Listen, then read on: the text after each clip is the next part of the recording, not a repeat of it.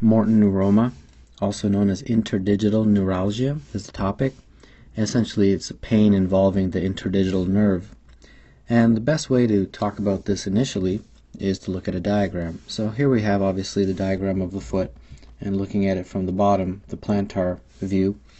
And the first thing I'll uh, label here are these bones, which are the third and fourth metatarsal bones.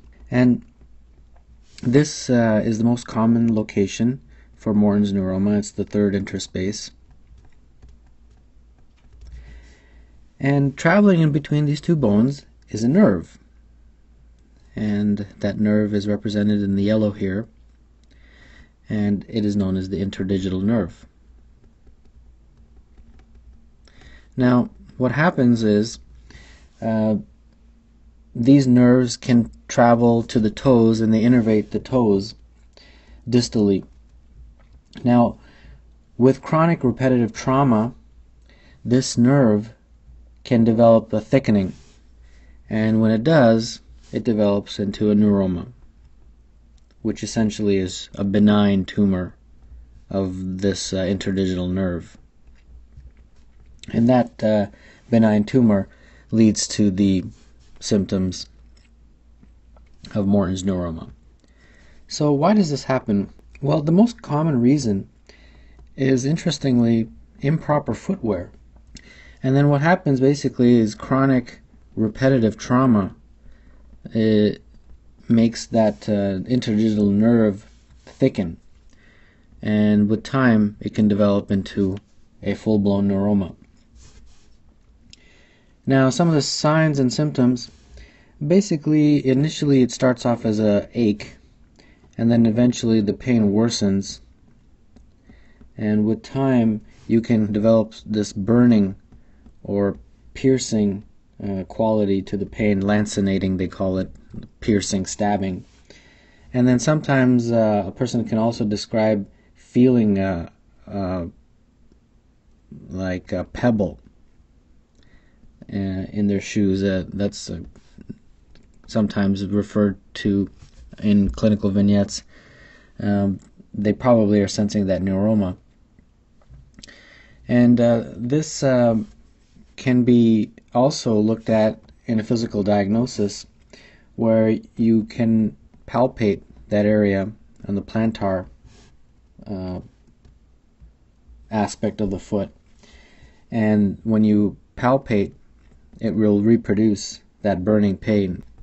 And then there's one other uh, sign, it's called a Mulder sign. And what that is, is basically when you uh, squeeze that space,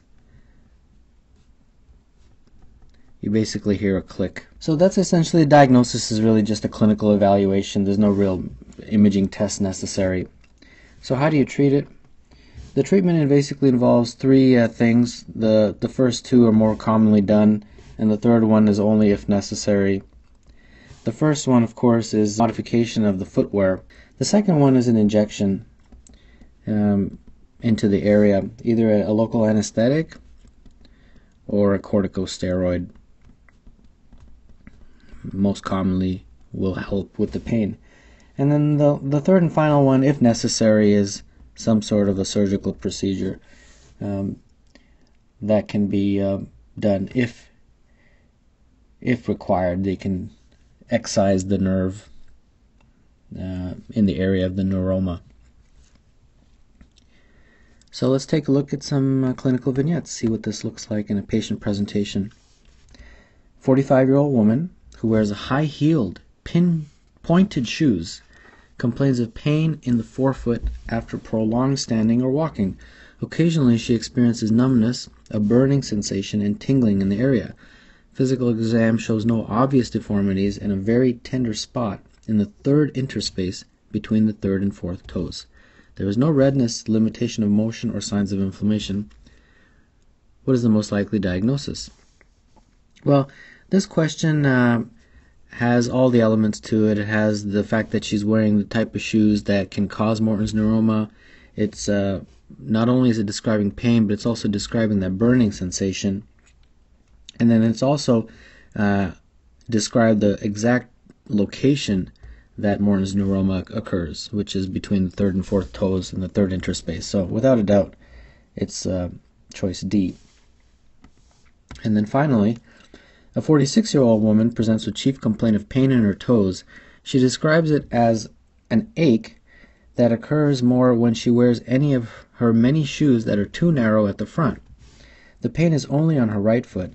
Initially, she states that she did not feel it was that severe, but now the pain has become worse, often with a burning or lancinating quality. She even describes a sense of there being a pebble in her shoe. On physical exam, there is tenderness on plantar palpation of the interdigital space. Which of the following initial recommendations would be most appropriate for this patient? Well, again, a classic case of Morton's neuroma. Well, of the three things, the the last one being surgery, the second one being a um, injection of either anesthetic or corticosteroid, and the first one being just changing your shoes, changing shoes, uh, or having some kind of uh, more appropriate footwear or insoles uh, that can be uh, used that will help alleviate this problem. And of the answer choices, that would be just choice A.